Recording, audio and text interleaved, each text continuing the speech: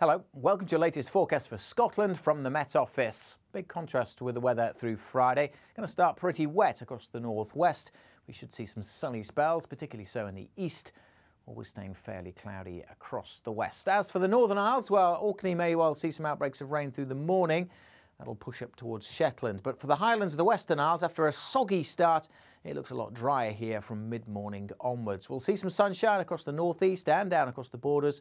Further west, well, we may keep a fair bit of cloud, and that cloud will have quite an impact on the temperatures. But even if it's cloudy, it's going to feel quite a bit warmer than recent days. And we should see some breaks in that cloud developing across parts of uh, Dumfries and also across the borders. As I said, some sunshine here. If we see some sunshine in Edinburgh, temperatures could get to 21, but it is likely to stay fairly cloudy through the central belt. Up the east coast, though, plenty of sunshine and for the uh, Moray Firth as well, and the northern parts of the Highlands also brightening up through the day. After a dry start, Shetland does turn soggy through the afternoon, but even here the rain will ease through the evening.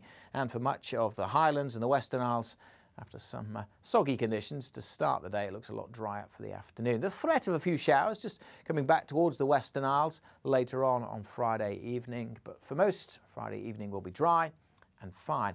And that should last into the weekend as well. With southerly winds, it's going to be turning warmer. Quite a, a mild start to Saturday for sure. And temperatures in the sunshine across the south could get up into the mid-20s possibly if you see sunny skies in Edinburgh. Again, there will be some cloud around and maybe the odd shower over the Western Isles and the Highlands. But for most places, the weekend looks dry and bright. Pretty warm as well for Saturday. Uh, some question marks about how much cloud we see through uh, Sunday, but again, just a threat of one or two showers. Most places seeing some hazy sunshine. A full UK or weekend forecast available on our YouTube channels.